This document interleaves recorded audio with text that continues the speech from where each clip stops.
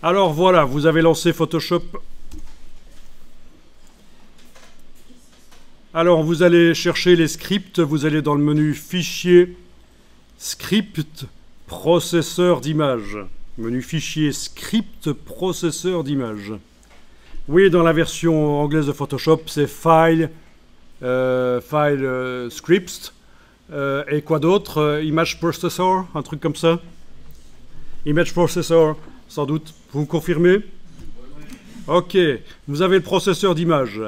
Vous allez indiquer un dossier. Donc on clique ceci, sélectionnez un dossier. Vous allez chercher dans votre dossier d'assemblage le dossier links. Rentrez dans le dossier links. Tiens, c'est mes images. Génial. Ouvrir. Vous avez précisé quel est le dossier source des images. On va faire enregistrer même emplacement, oui.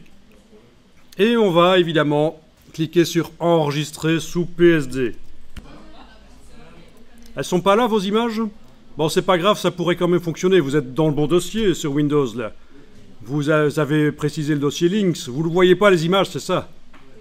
Ah, mais ça faudra écrire à Bill Gates pour qu'il améliore Windows.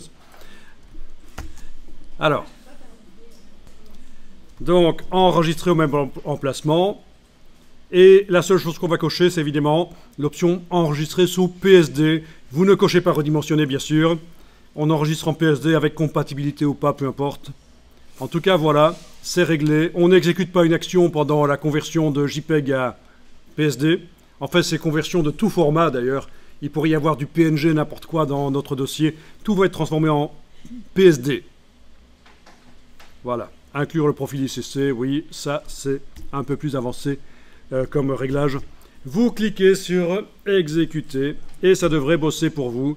Ouvrir chaque image, les enregistrer, les fermer Et voilà, c'est fait. Alors il est possible qu'il vous ait mis un message d'erreur, non? Mais euh, on va aller vérifier que ça a fonctionné quand même. Vous allez dans... Oui, c'est parce que le dossier vient d'un Mac, au fait, le dossier d'assemblage que je vous ai refilé, donc il y a peut-être des icônes qui sont cachées et qui sont quand même vues par Windows. Il a, comme, il a essayé de les convertir en PSD, il n'a pas réussi. Enfin bon, peu importe. Est-ce que dans le dossier d'assemblage, dans Links, vous avez maintenant un dossier qui s'appelle PSD et dans ce dossier PSD, vous avez les, images en PSD. Extraordinaire